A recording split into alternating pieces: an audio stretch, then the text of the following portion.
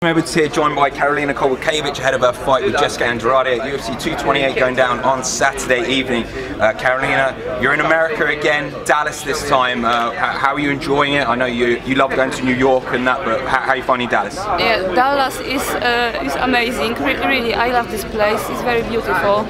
We are in beautiful hotel. Uh, I did little shopping. uh, we uh, we been on Big Lake. Uh. I spent a really nice time here. I know last time in New York you had a few problems with your credit card, spending too much money. Are we are we looking for another bonus this weekend? Uh, Dallas is not like New York. in New York there are better shops there are better shops. Um, tough task on Saturday. Uh, Jessica Andrade. This uh, everyone is talking this up as a number one contender fight. Um, what do you make of Jessica, and like, what do you see as her? Uh, what do you see in her as an opponent? Uh, I know she's very tough, very strong. Uh, she has really good wrestling, uh, great ground game, good boxing she's really really good and I know it will be I think it will be the toughest fight in my whole career.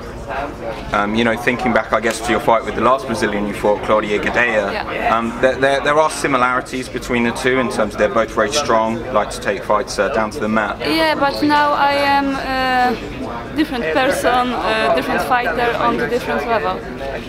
What, what do you think you've changed then since that fight? Uh, you will see on Saturday. Is there? Um, I know. I know. Before your last fight um, in Brooklyn, you had worked on a few kind of like sneaky kind of moves with, with your teammates. Like, are, are, there more of those that you've been working on? Is there something we've yeah, got to watch out yeah, for? Yeah, we, we prepare something something special for Jessica, uh, and I'm really good prepared for this fight.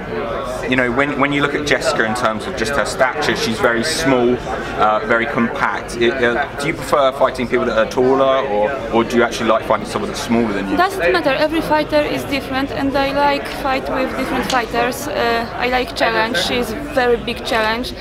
And then I can't wait to fight with her. As I said earlier, everyone's saying that this fight, if you win it, you will go on to fight Rose Namajunas again. Um, is, is, that something you obviously really want, and would you like that before the end of the year?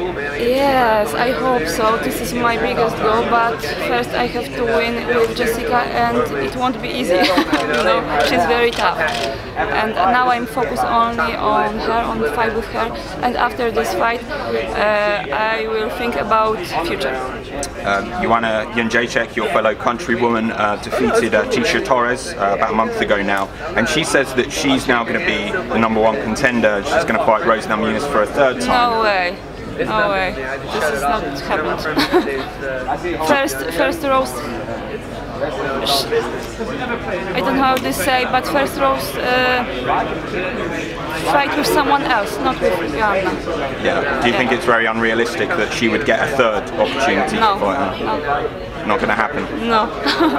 um, of course, uh, you want that to be you, you, want to be the next one to fight for the title, but you do have this fight on Saturday. Um, just lastly, what's um, what's kind of the message back home? Because at the moment you're fighting a lot here in America. You've got so much support back in Poland and the rest of Europe. So, uh, just lastly, what's kind of the message to those guys?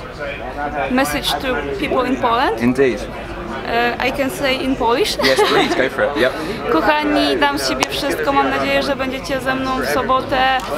E, jestem w dobrej formie, jestem dobrze przygotowana i mówię, mam nadzieję, że to się przełoży na, na sobotni występ i, i bądźcie ze mną, bo ta wasza energia, pozytywna energia dodaje mi energii. Uwielbiam was. Great stuff, Karolina. Uh, thanks for your time. Best of luck on Saturday and uh, the American Airlines Arena.